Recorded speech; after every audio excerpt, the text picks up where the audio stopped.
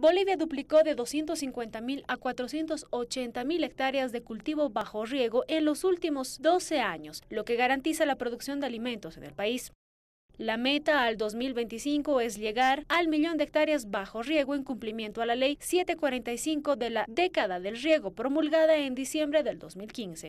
La inversión es de, ¿no es cierto? Igual como tendencia es 80-20 la inversión es de más de 2.800 millones de bolivianos.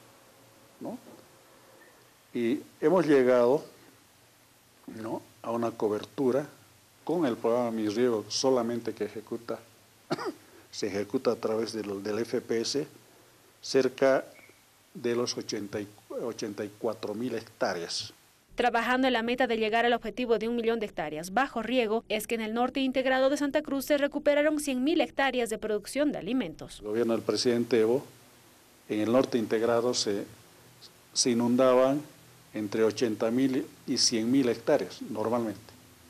Con el trabajo que hemos hecho, este trabajo conjunto, inundaciones está en 3.000, 4.000, 5.000 hectáreas. Se han recuperado 100.000 hectáreas. Eso significa que han entrado a la producción en el norte integrado de Santa Cruz 100.000 hectáreas. Bolivia produce el 95% de los alimentos que consume y este año su producción alimenticia llegará a más de 18 millones de toneladas, de acuerdo a datos del Ministerio de Desarrollo Rural. Eso significa más papa, más arveja, más quinoa, más verduras. Y es un dato significativo. Y les digo por qué.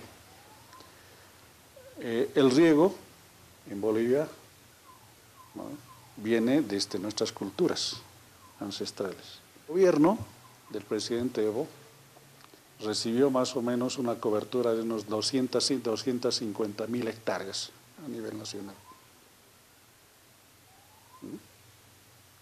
En 12 años estamos ya llegando o sobrepasando las 480 mil hectáreas.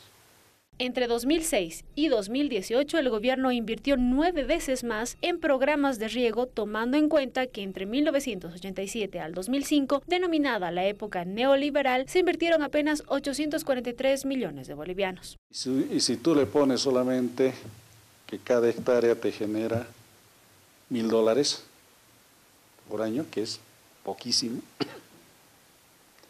estuviéramos hablando que se está produciendo en alimentos 83 millones de dólares. Estamos utilizando, ¿no es cierto?, 2.863 hectómetros cúbicos. Estamos hablando de 2.863 millones de metros cúbicos de agua.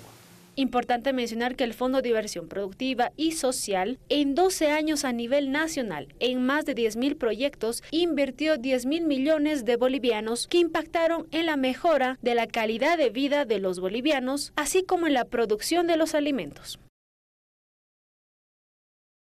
Bolivia duplicó de 250.000